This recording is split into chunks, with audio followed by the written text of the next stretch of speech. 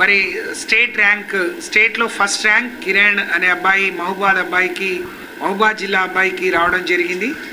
అలాగే second rank కూడా ఉమాశంకర్ అని మహబూబాద్ జిల్లా అబ్బాయికి వచ్చింది.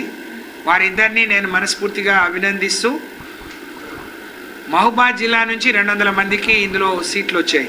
పదమూడు వందల నలభై ఏడు రిజల్ట్ ఇస్తే రెండు వందల మంది మహబూబాద్ జిల్లా పిల్లలే ఉన్నారు.